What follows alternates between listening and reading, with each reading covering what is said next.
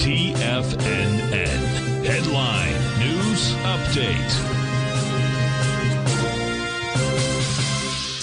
Welcome, folks. We had the Dow Industrials finish uh, down 68, Nasdaq up 29, S&P's flat.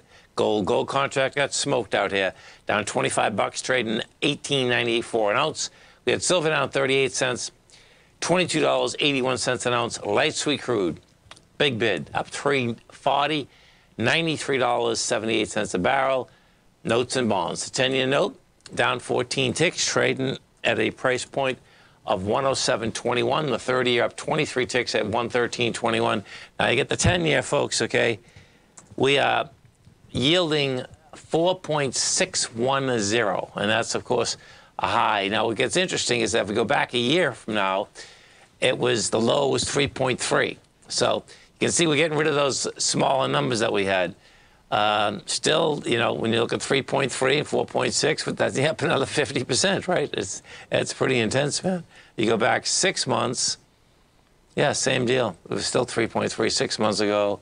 And three months ago, it was at 3.7. Still, that's a lot. It's a lot. There's no doubt. Uh, King Dollar. King Dollar was all, all about, folks. Up 450 106, 682. And if we go to King Dollar, take a look at King Dollar because King Dollar's the number, man. You know, it's going after this swing point of the 107,999 uh, and bring this back on a two year, get a wide price spread. I got to beat this thing, man. You get wide price spread again coming out, and this swing point is going after it. 107,993.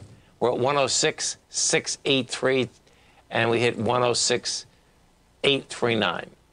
You know, and if you take that swing out, then this market's going to be in big trouble, man, because you, then you you know you you into the downdraft. You're already into the downdraft, you know, by a quarter of the of the whole bar. So we'll see where it shakes out, and you know we'll see where the rest of these uh, currencies also shake out because, you know, right now you know, you can see, look at look at this euro, man. The euro is at 105. That is pretty amazing, man. I mean, down from uh, what we were just at. Uh, yeah, we, we just at one. Well, he's at 112. Was at 120? Yeah, you were 112.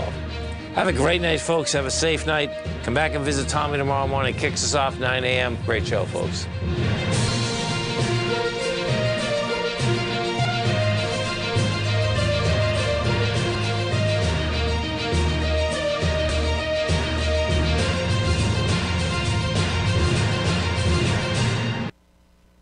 Sharpening your skills